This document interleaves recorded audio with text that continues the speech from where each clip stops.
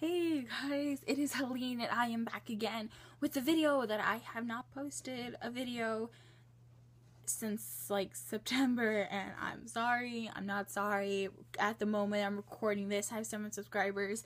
They probably don't care, but I'm back for the internet to enjoy my voice and to enjoy me because I am a good person. I'm talented. I swear, I swear I know what I'm doing. This wonderful, beautiful eyeshadow face is also brought to you by Too Faced, the peanut butter palette. Please sponsor me. Please sponsor me. I have no money and I want to buy more makeup, but I ain't got no money to buy it. But, anyways, if you could tell from the title, this is my top 13 tips to surviving your freshman year of high school. And this is, it's summer right now and I'm going to be a junior next year, so I like to think that I got some kind of knowledge when it comes to like what to do in high school. So I decided to make this for you incoming fishies who have no clue what you're doing, because guess what? You don't like I can guarantee you have no clue what you're doing, okay? You might think that you know what you're doing, but you don't know, okay? I didn't know, you don't know, okay? It's just kind of a learning process. You learn as you go along, okay? And as you go along, you'll be like, yeah, this isn't too bad. But guess what? It gets worse, then it gets better. Okay, so you just kind of go along with the punches. So I'm making this to help you. So, in any case, let's get started. So, my first tip is to realize that your group of friends is gonna get so much smaller than it already is, or it's just gonna get smaller. Like you have to understand that once you hit high school, like things change. Like you got people dropping like flies in here, okay? You can't do anything about that. Okay? Let me show you how my freshman year worked out. Oh my god, look over there, it's my friends. Hello, friends. Oh no, my friends are running away from me. Yeah. That's basically how it worked out okay, that's not exactly how it worked out, but that's how it felt. I felt like people were trying to get away from me, but it's kind of a good thing because you'll get rid of people who you don't really want to hang out with, but and then you'll make new friends who are like in the things that you think are cool, and so you'll be cool together. I'm not cool. Number two, to many of your upperclassmen, you will be seen as annoying. Even if you personally are not annoying, your entire class will be seen as annoying. And let me tell you why.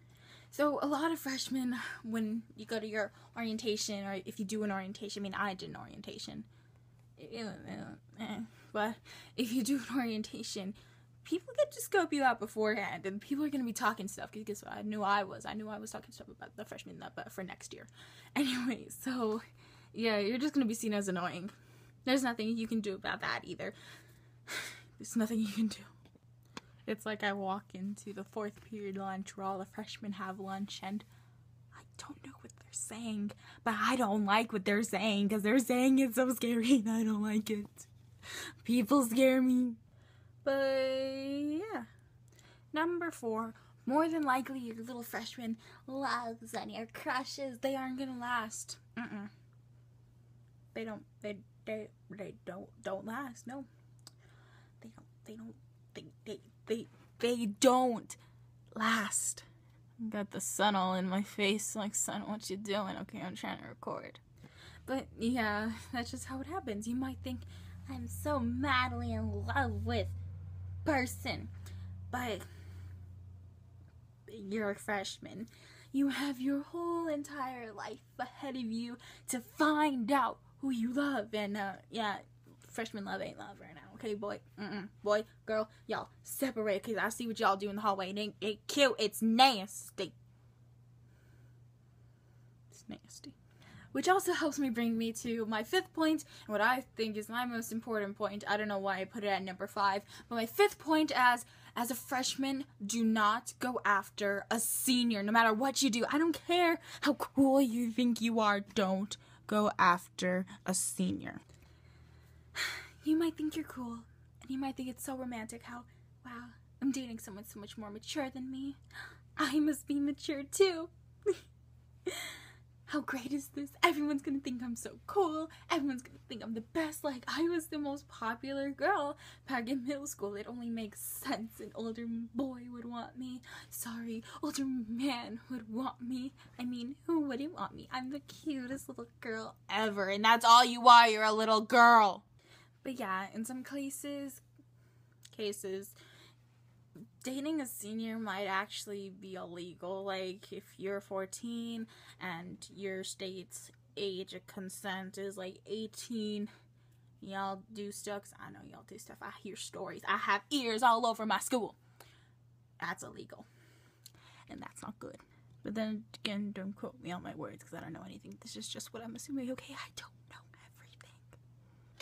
So yeah, number six. Um, respect your teachers. I cannot stress this enough. You better respect your teachers, and y'all might think that you're cool because you're talking back.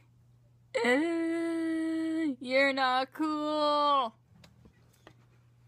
Okay. Here I am. New school, new year, new me. Now I gotta assert my dominance here. I gotta show everyone at the school I might be young, but I am ready to conquer this. I'm ready. Let's go. So you know what I'm gonna do to show my dominance? Do you know what I'm gonna do to show my dominance? I'm gonna walk up to that teacher right there, right there. I'm gonna walk up to her and be like, Sup. I ain't gonna say miss. I ain't gonna say her name. I'm not gonna say anything. I'm just gonna say sup. She calls on me in class. I ain't gonna answer. I hope you realize that's what you guys sound like, and it's so annoying. But yeah, teachers aren't like there to give you a hard time. Like they're they're kind of sort of there to teach you things, okay? They're there to show you things and how to survive your school, okay? Like they are your most useful like ally to surviving school. You might not think that, you might not want to think that, but they are. Okay? They really oh god, the sun's in my face. They really are your best ally in this. So you just gotta respect them. Like, even if it's kind of like a sucky teacher, we all get them, we all deal with them, but in the long run, it's gonna be fine because you're gonna have a better school experience if you actually respect your teachers. Thank you. Number seven. I don't know how to sign number seven. Anyways, number seven is that you've got to understand that sometimes seniors will be given more respect, even though they might not always deserve it. Because I know a lot of seniors who are given respect and do not deserve one ounce of it, are very irresponsible. The sun's in my face again. I can't do anything about that. I'm sorry, but anyways, you just gotta accept that sometimes seniors, sometimes, sometimes, sometimes seniors will be seen as better people, even if they aren't, and you just can't do much about that. Okay, number eight is that you have to earn your respect. Like, as a freshman, I was able to earn my respect through doing good in sports, doing good in school, and doing good in extracurricular activities. And that's how I earned my respect because I gave it my all. Don't put half your effort into whatever you're doing because it'll show and you ain't gonna earn none of your respect okay? Everyone wants to be respected in high school. We just want to fit in. And if you want to be cool to the upperclassmen well uh, if you hang around the right cl- crowd crowd of upperclassmen if you want to be cool to them you gotta like earn your respect. You gotta show that you're a sensible person who actually knows kinda what they're doing in life it's like this great feeling of equality when you earn your respect from a f- like as a freshman from like an upperclassman. It's like wow, I'm important. I'm so important. Ah. Number nine. You gotta try out for everything. Okay, don't try out for everything. So like, don't bite off more than you can chew, but just like try out for what you think is interesting. Like if you want to do like theater, do things for theater. If you want to do sports, try out for sports. If you want to do something else, do it. Just do it. Okay? Alright, so the next two, number 10 and number 11, kind of go together, which is basically number 10 is be good to your GPA because it is so hard to fix a bad GPA. And number 11 is don't mess around this year because if you mess around this year, you're gonna spend the next three years trying to like fix it. Okay, it is gonna be almost impossible to fix things if you do really bad, and so you just gotta try your best.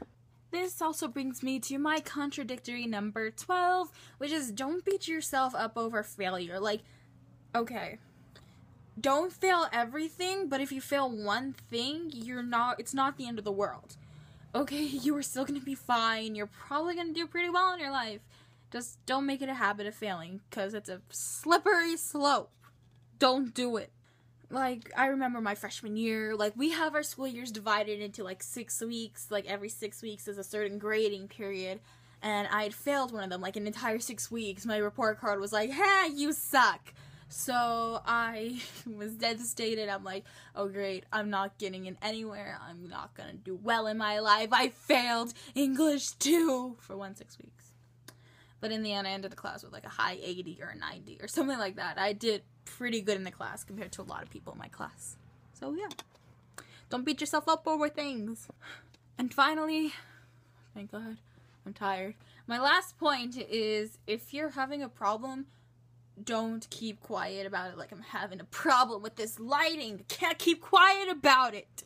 Like, like not. I'm not talking about your everyday school drama. Like, oh my God, did you hear? He was talking to Veronica. How dare he talk to Veronica? He's my man. How dare he? Oh my god. God, can you believe this? He was talking to Veronica. Veronica, oh my god. I cannot believe he was talking to Veronica. I'm not talking about that kind of problems. I'm talking about if you have a problem with bullying or a mental problem or or something like that. Or heck, if you're in sports and you have a physical problem, don't keep quiet about that because that can seriously injure you in the long run. Well, like any of these can. So sorry, my camera gave out. But yeah, in conclusion, just like don't hide any problems. And I think you'll have a pretty good year. So anyways, guys, thank you so much for watching this video because I'm pretty sure there's not going to get that many likes, but that's okay. So I hope you check back and I will see you guys in the next thing of whatever I make and hopefully I make it soon. So I'll see you guys later. Okay, bye! Please tell Too Faced to sponsor me. I would love it if they sponsored me. I have no money.